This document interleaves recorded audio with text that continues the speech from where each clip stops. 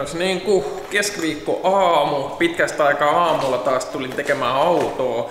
Mulla on tässä boksissa tota Chaserin toi vanha ää, startti. Mä kun otin Breviksestä silloin startin Chaseriin ja nyt Breviksessä ei ole starttia, niin mä ajattelin, että jos mä saisin tän herkistettyä ja kokeiltu, että toimisiko tää sitten tuossa Breviksessä, niin mun ei tarvii heti sitten tota, tilaa uutta. Mutta jos tää ei lähde niinku skulaamaan, niin sit pitää laittaa uutta tilaukseen. Ajatus on, että toi Brevis tosta sitten liikahtaa ja saadaan se tosta etenemään tämän kuukauden aikana. Viimeistään ensi kuun puolella auto olisi niinku pihalla tosta. Isolla todennäköisyydellä tällä hetkellä menee tonne maalaamon puolelle. Ja mä oon siitä tosiaan innossa, että jos se saa ennen talvea vielä tosta maalattua ja sitten tallille. Mä pääsen sitä sitten kasaamaan ja laittamaan sitten kondikseen ja ensi kesäksi ajoa. Hyvin fiiliksillä siinä mielessä, että ei tarvi sitten sitä hoitaa enää niin kuin pohjeen osalta, koska multa se ei vaan luonnistu niin hyvin, niin mieluummin sitten maksaa siitä, että joku toinen tekee itse tekee duunia ja tekee vaikka rahaa ja maksaa sitten sitä maalausta. Mut joo, kokeillaan, tsekataan miten toi startti tosta herkistyy ja saadaanko me se auto käyntiin.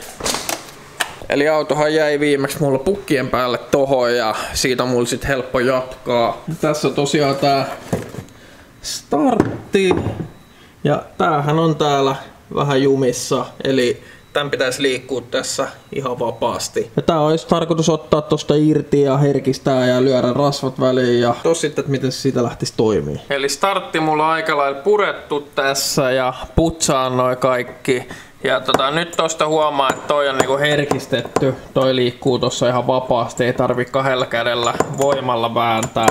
Eli Tuosta nostamalla toi liikkuu tuossa akselissa. Putsaan loput osat ja kasaan tän ja sitten kokeilen itse autoa kiinni. Joo, eli tosiaan mä kasasin sen ja mä huomasin siinä, että se rungon käämitys vai millä nimellä nyt onkaan, niin se on sieltä niinku useasta kohtaa niinku poikki tai jotain vastaavaa. Mä laitan suosiolla uuden, uuden startin sitten tulemaan ja saa sen sitten niinku ihan luotettavasti skulaamaan. Et ei tarvi miettiä kyykkääkö se tosi jossain vaiheessa. Mä metsästän siihen starttiin ja vaihan sen sitten heti kun, heti heti kun sitten saapuu, sen jälkeen kun on startti kiinni, niin mahdollisesti tämä auto sitten liikahtaa tästä kanssa eteenpäin. Purkataan sitä sitten, kun se on ajankohtainen. Eipä tässä oikeastaan nyt muuta tämän auton kanssa. Mulla tässä nyt hetki aikaa ja sitten alkaa duuni. Et eipä tähän hätää sitten muuta.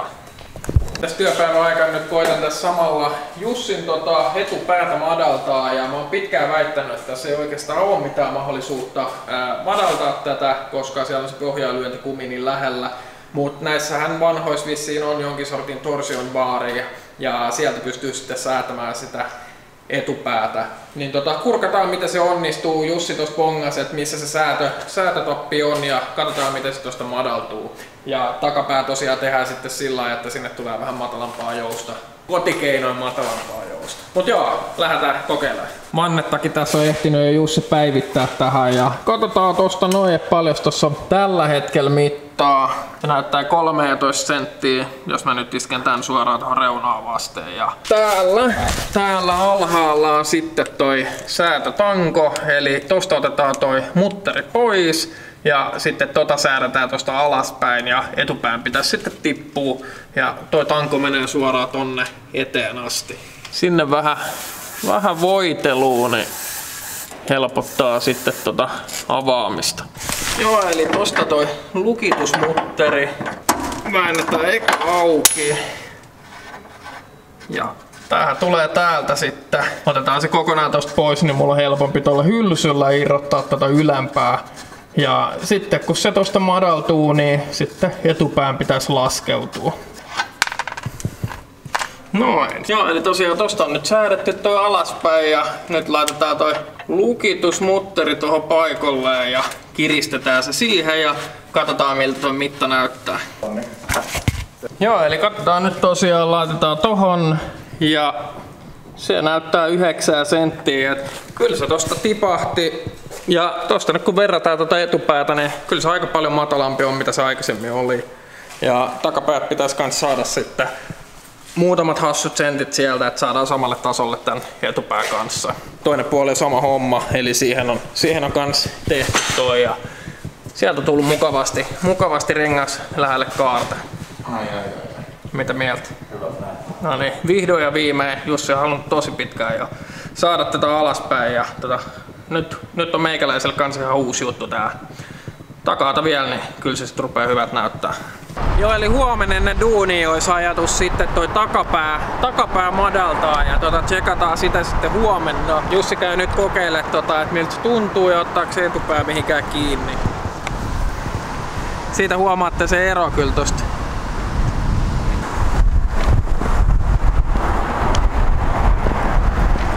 Hyvät näyttää. Tosta saa vähän vertailukuvaa, että miten se etupää on takapäähän nähdä.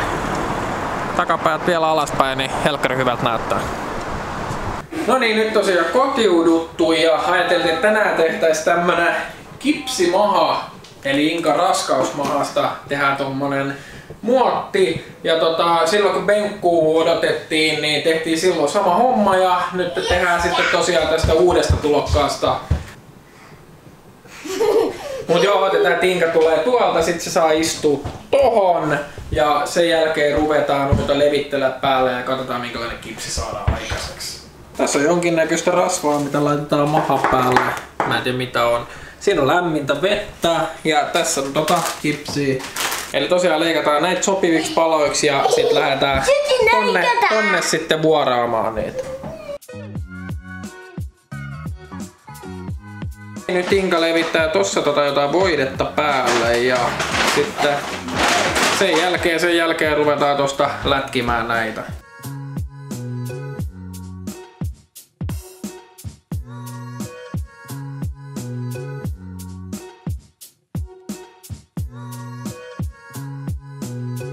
No niin, nyt olisi tosiaan levitetty kaikki noi kipsit ja tota, nyt annetaan sen kuivuu 15 minuuttia ja tota, sen jälkeen revitään toi auki. Katsotaan miltä se näyttää, kun otetaan se pois.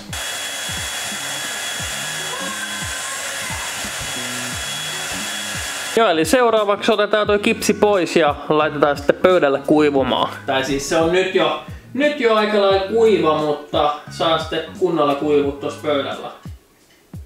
Joo, eli tuohon pöydälle laitettiin sanomalehtiin ja tota, tossa nyt toi itse kipsi ja muotti, mikäli ei onkaan nimitykseltään, niin toi saa nyt kuivut tosiaan kunnolla ja siinä on sitten tommonen muisto meillä.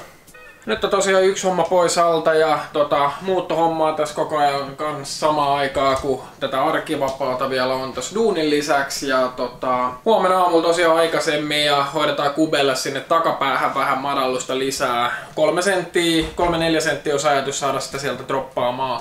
Sitten mä oon tosi fiiliksissä, kun huomenna tätä Kuutset Vinytsiltä saan teipit tohon Chaseriin ja lauantai aamulla todennäköisesti laitan sitten kiinni. Siitä tulee sitten videota näillä näkymin sitten viikon päästä. Ja tosiaan Maxim Desing on sitten noin grafiikit toteuttanut ja huomenna tulee sitten printistä ulos ja laminoidaan. Ja siitä tulee kans ihan varmasti jotain settiä ja Inka käydä hakemassa ja toivon mukaan sitten saadaan autoa kiinni ne. Mut niistä sitten lisää viikon päästä ja tota, ei oikeastaan muuta, palataan aamulla kun duunataan sitä madallusta. Joo, eli nyt on aamulla tosiaan tätä takapäätä tähän tauneissiin väännetty ja tota, madallusjouset sinne tuli, unohtu kokonaan toi kuvaushomma tossa. Mutta ei ollut mikään ihmeempi homma tunkata ylös ja takaiskarit auki alapulteistaan ja tota, sitten jouset vaihtoo siitä. Tosi helppo homma vaihtaa. Nyt on takapää tipahtanut, eli sinne kun tulee ihankin vähän painoa lisää, niin se tippuu tosta se pari senttiä, niin se on tosi hyvässä linjassa tuohon etupäähän nähden. Kyllä siinä aikamoinen muutos on kumminkin siihen nähden, mitä se oli. Käydään tosta pyörähtää vielä pikku lenkki, katsotaan minkälainen tuntuma sitten itse autossa on.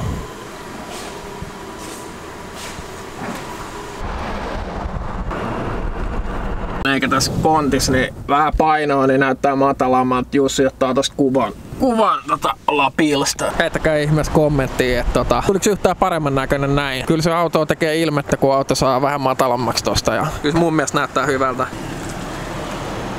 Sinne meni. Se on sitten työhommien pariin ja tota, minä kiitän kun katsoit tämänkin video ja tää video on tosiaan nyt pulkas. Ensi viikon lauantaina taas uusi setti, niin palataan sen tiimoilta. Se on moro.